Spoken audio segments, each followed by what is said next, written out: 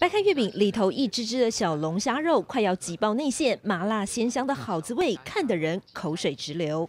我觉得它把传统跟现代的那个馅料相融合，我觉得口感还是挺独特的。比较喜欢尝试新东西，就是麻辣小龙虾。这是大陆杭州老字号五芳斋最新推出的现烤麻辣小龙虾月饼，很受年轻族群欢迎。每家门店每日限量五十颗，供不应求，成了新晋网红。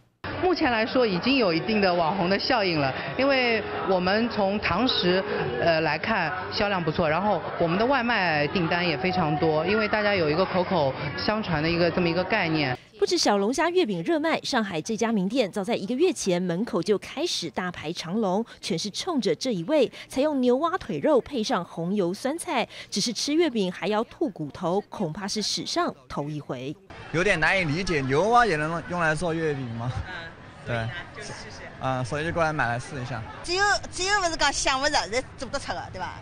另外，这个大虾起司月饼还能看戏，同样吸引民众抢尝鲜。看来月饼大战开打，比人气更拼创意。记者综合报道。